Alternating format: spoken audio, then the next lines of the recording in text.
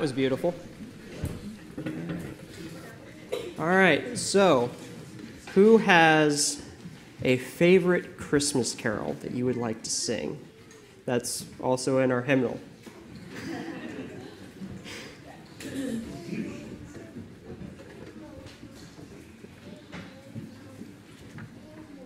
Anybody? I see a hand back here. We Three Kings. All right. 206. 206.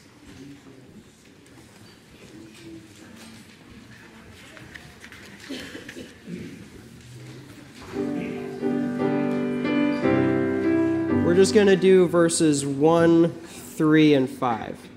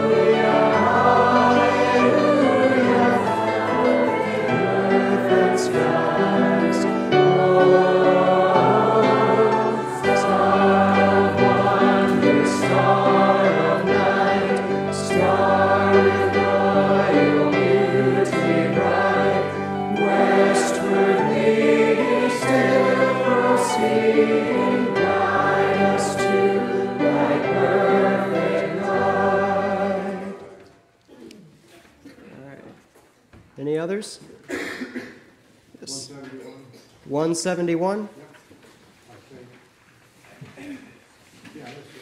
Okay. It has been confirmed. Joy to the world.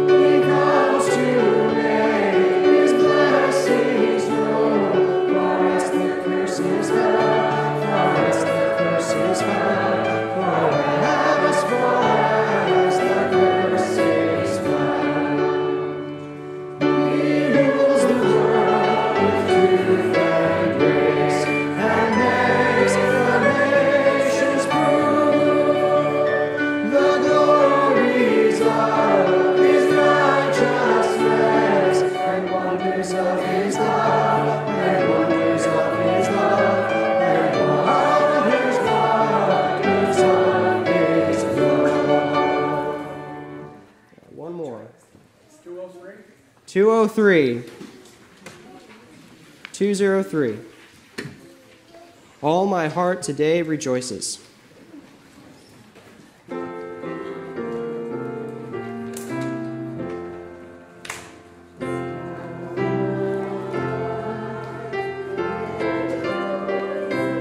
right, uh, let's play it through one time. All right. So play it through once and then we'll start over. It's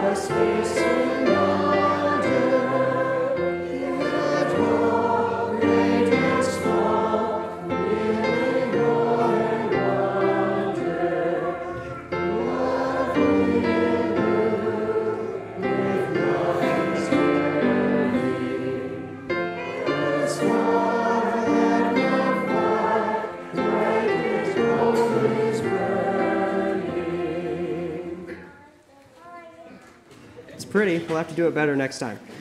All right. So at this time, I'd like to ask Emma Arbuckle to come up.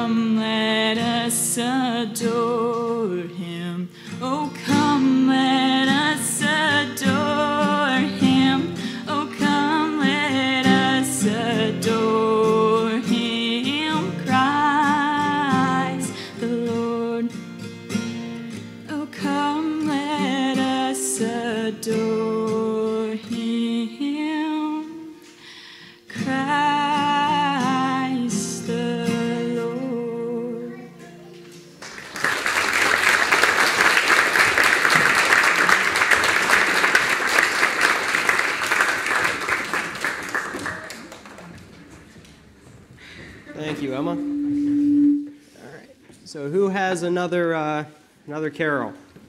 Mrs. Guthrie. 180.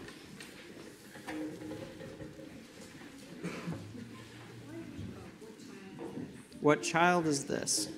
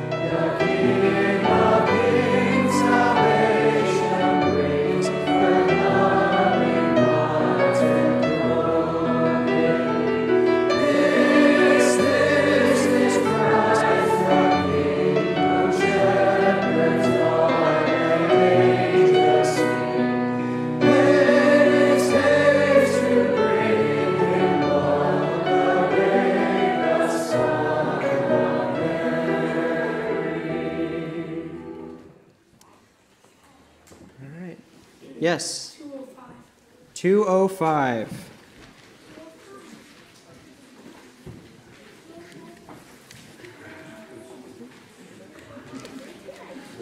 Go tell it on the mountain.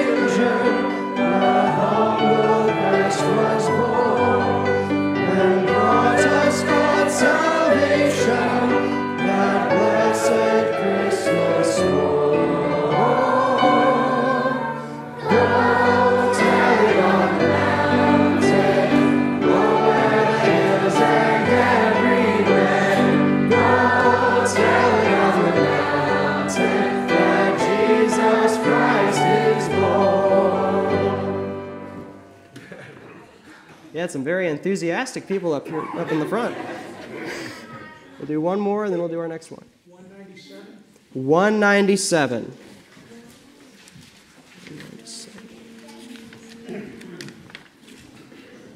It came upon a midnight clear.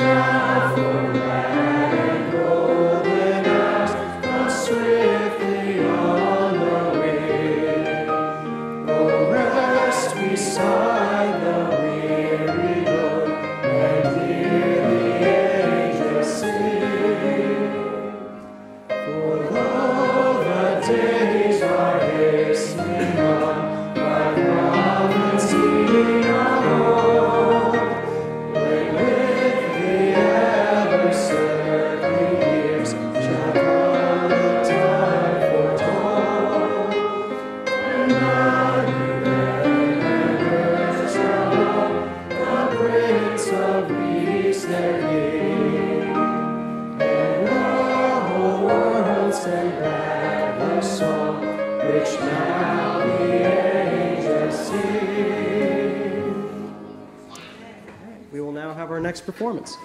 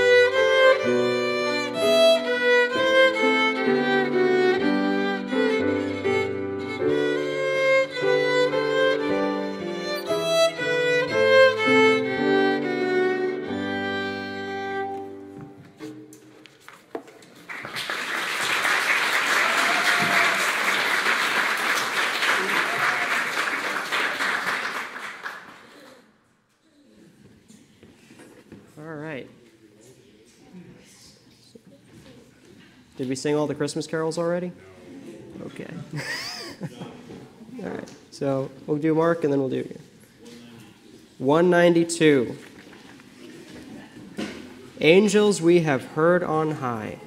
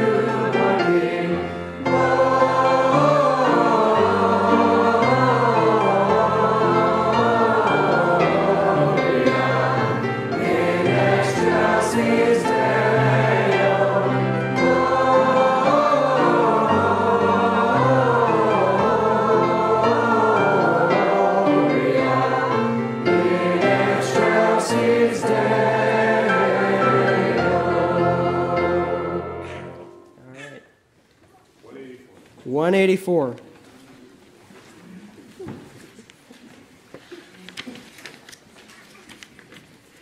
Hark the herald angels sing.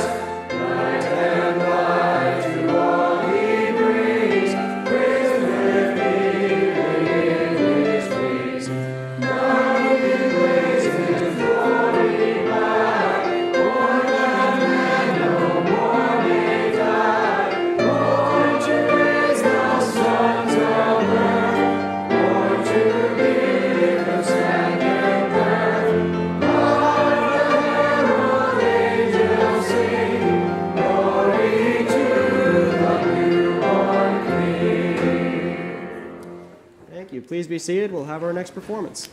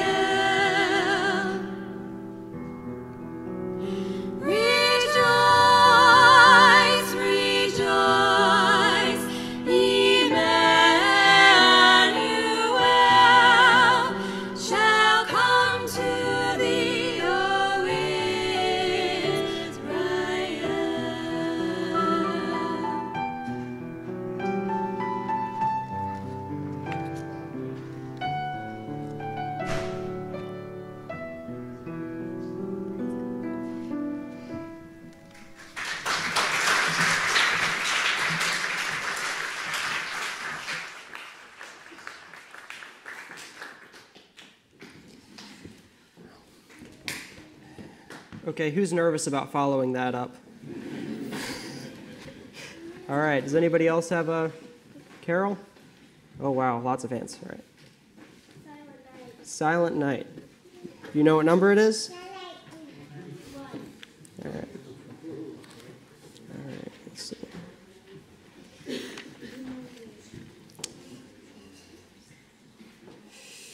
One ninety-five.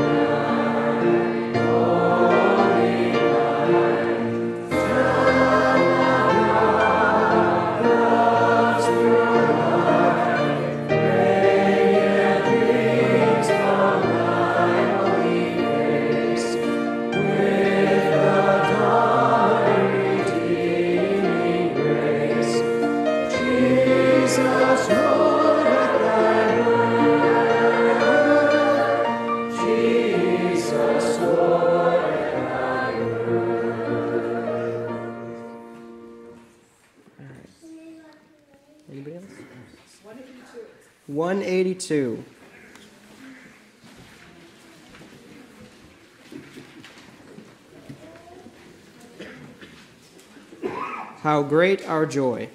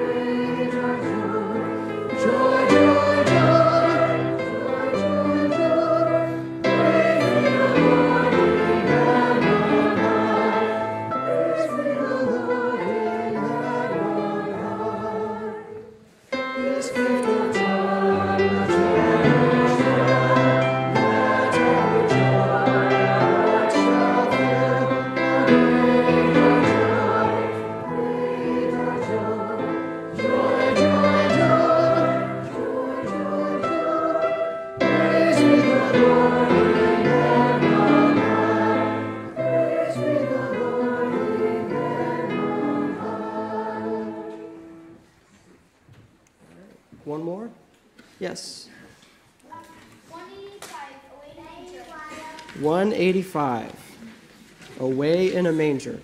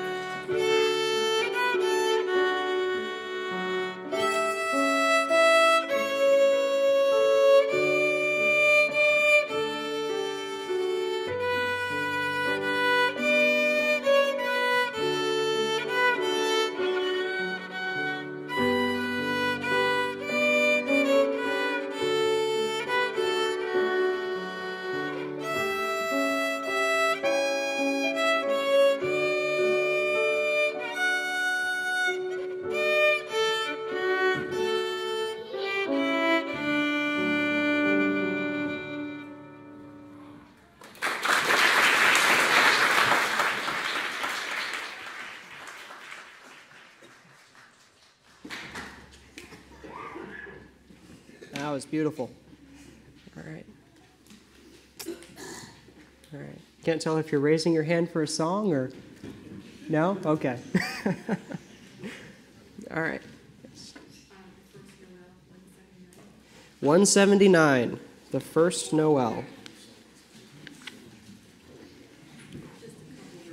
We'll just do the first and the last. Sorry, my arm gets tired.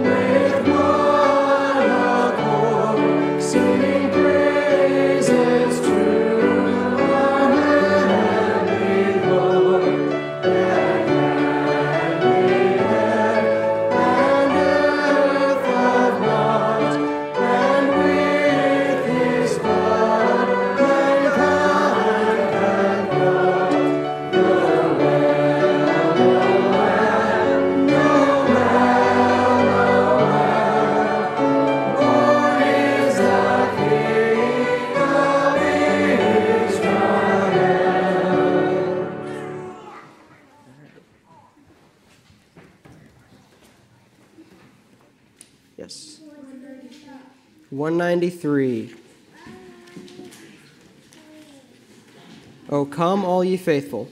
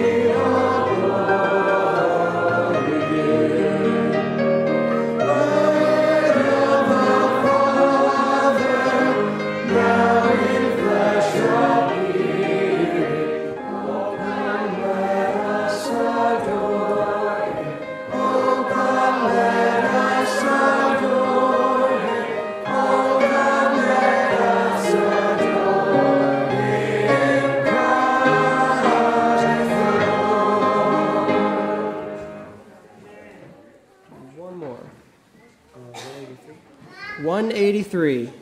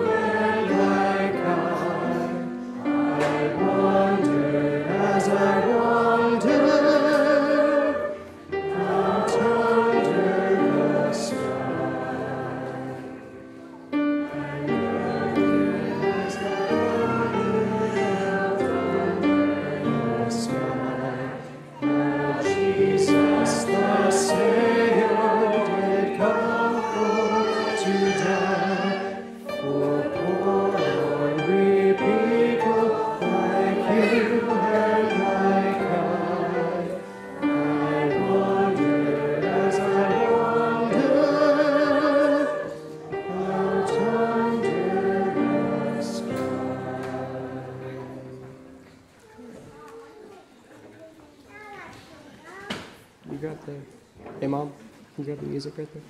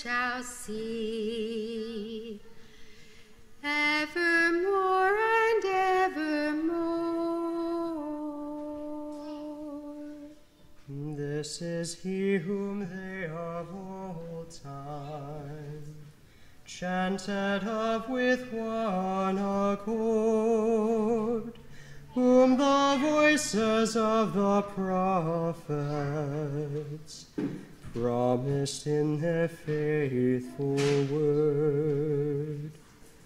Now he shines the long expected. Let creation praise its Lord. Evermore and evermore. O ye heights of heaven, adore Host his praises sing. Powers, dominions bow before him. And extol our God and King. Let no tongue on earth be silent. Every voice in concert ring. Evermore and evermore. Christ to thee with God the Father, and the Holy Ghost to thee. Hymn enchant and high thanksgiving, and unwearied praises be. Honor, glory, and dominion, and eternal victory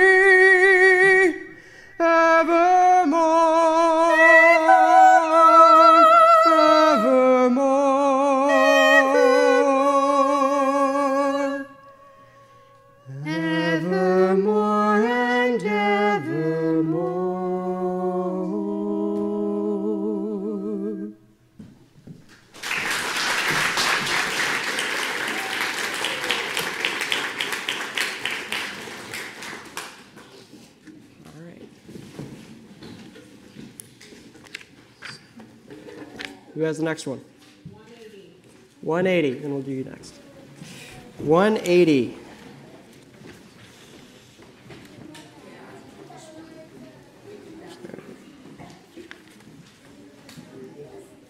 What child is this?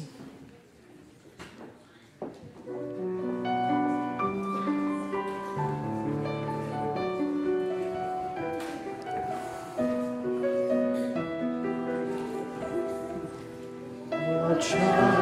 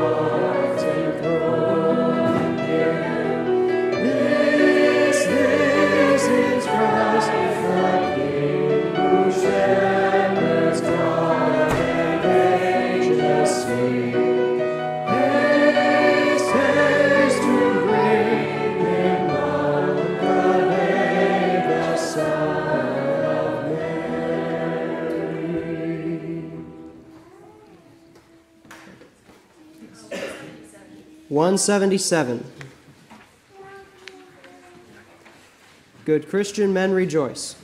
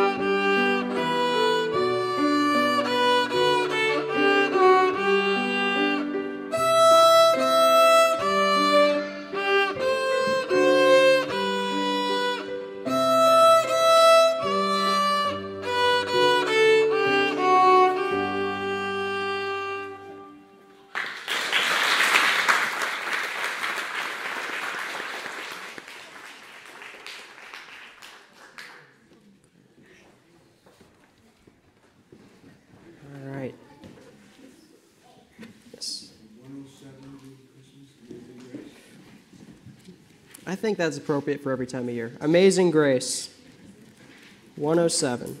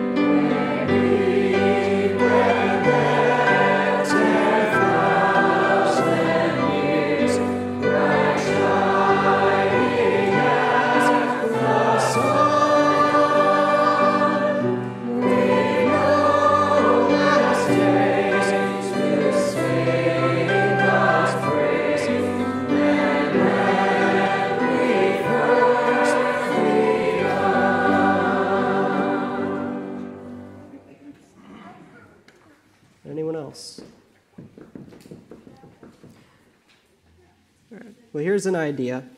Shake things up a little bit. I think this is on. So, who has something that they are grateful for at Christmas, like something they look forward to at Christmas time every year, or just a praise or anything like that?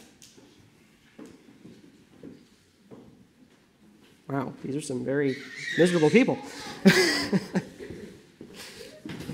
Whoa. Okay. There we go. Just grateful for our wonderful church family and loved ones that can gather home. Yeah. Anyone else? All right. My family. Your fam- Can you say it a little bit louder? My family. There you go. All right. Anyone else?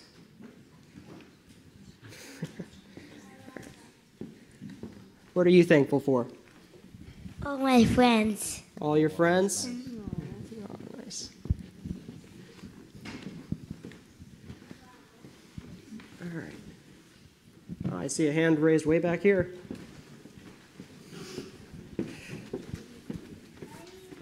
What are you thankful for? My mom. Oh, yeah? Is she a good mom? Yes. All right. they all are, aren't they? All right. Oh, I see a lot of little kids. Why don't you just stand up and yell it out? What are you thankful for? Jesus. Jesus. Okay, I think he wins. How about you? Heaven. Heaven. That's a very good thing to be thankful for. All right. Hey, we got another Jesus. Amen. All right. Well, uh, you? Um, I'm thankful for God protecting us from Satan. There you go. God protecting us from Satan. All right. Well, why don't we go ahead and we'll have the next performance.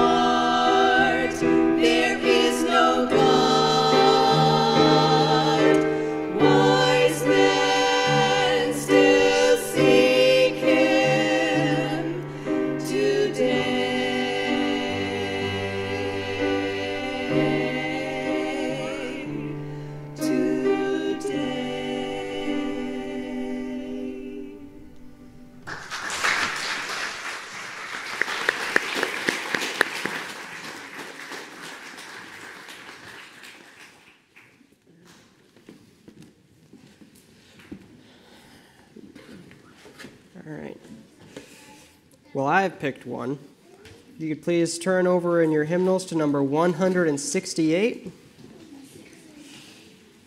Come, thou long expected Jesus.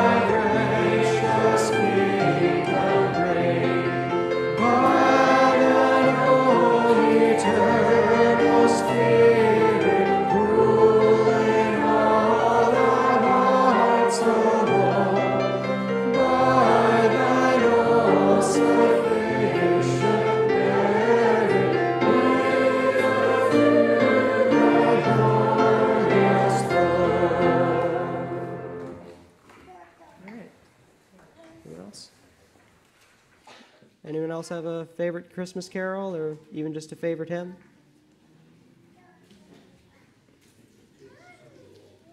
Right. Sure. 169.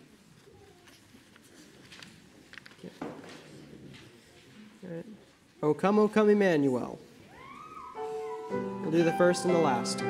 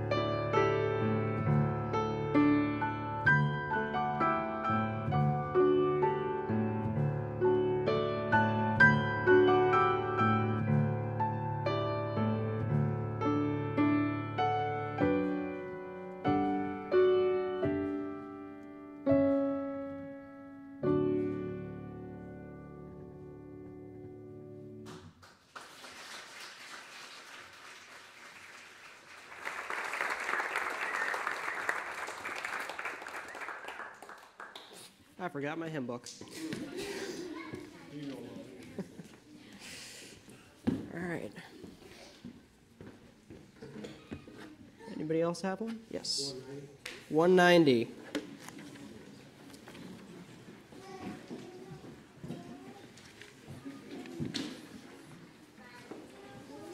Do one more after this, and then we'll have our last special.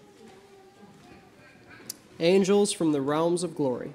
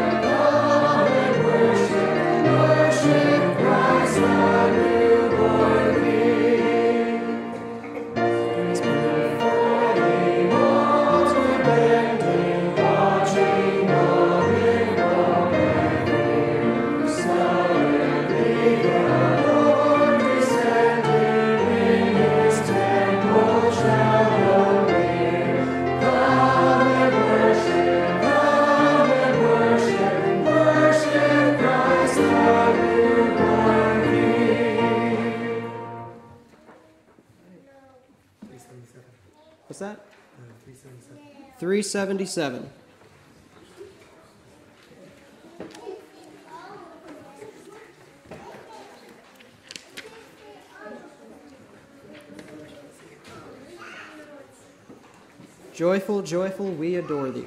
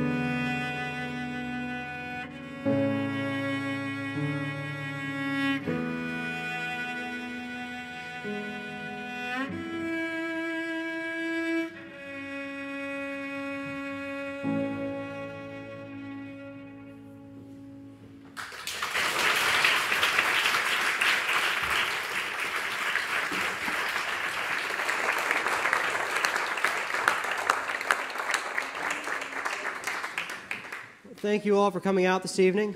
Um, I'd like to ask everyone who played tonight, company us, everybody, please come on up. If you're holding a baby, you can come up with, it, with them too. come on, don't be shy. Come on, Natalie.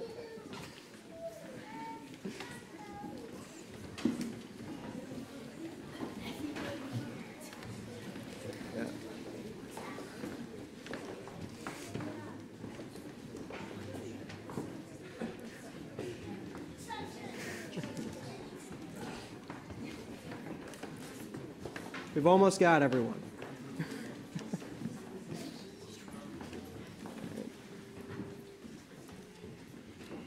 well, I thank everyone who uh, performed here tonight and worked so hard preparing. I think they all deserve a, a round of applause. What do you think?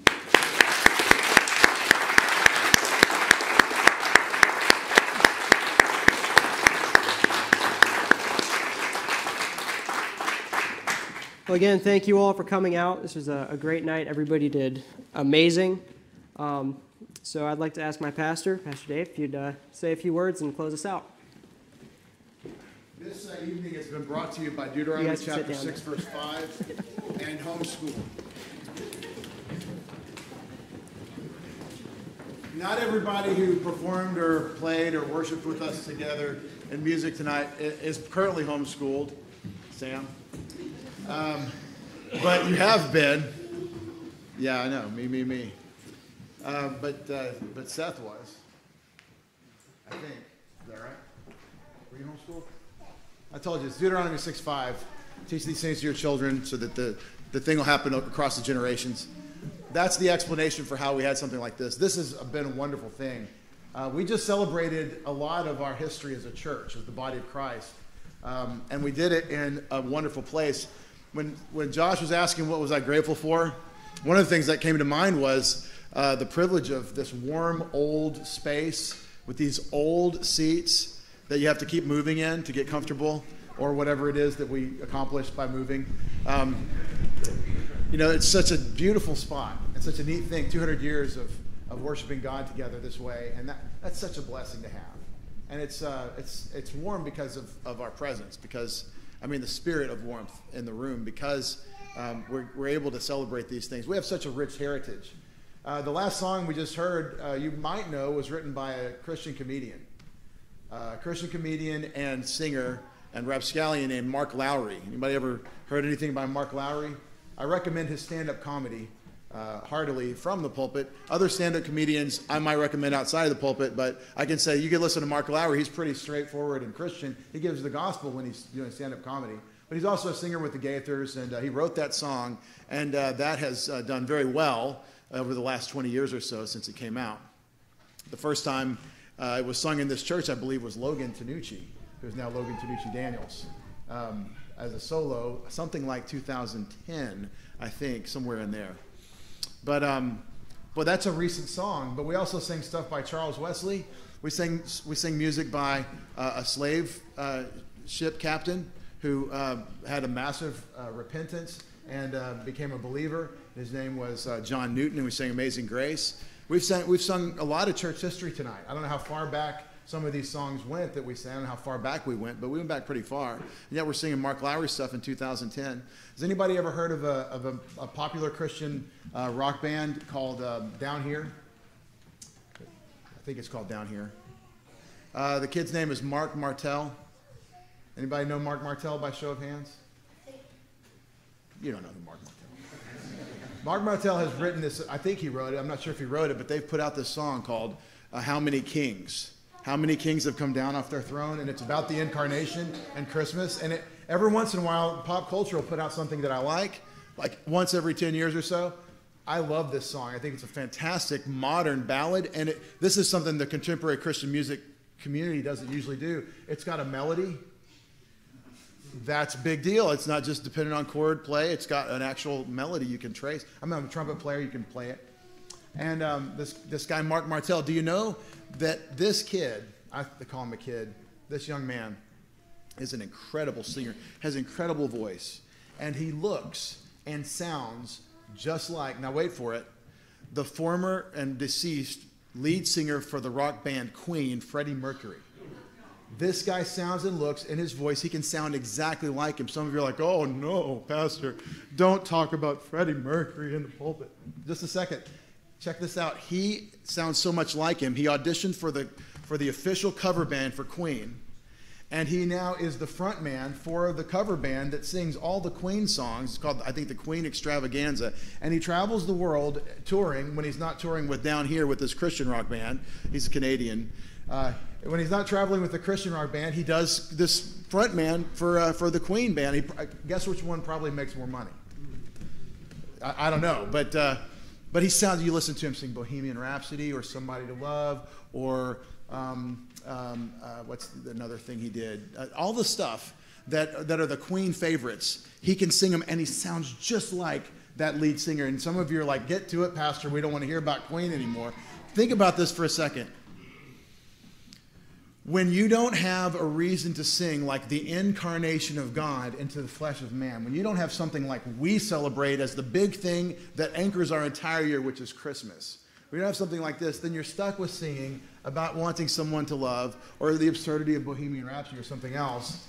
And it's really sad because there's all this talent and all this power about pretty much singing about nothing. And the most you can say about it is it's pretty cool.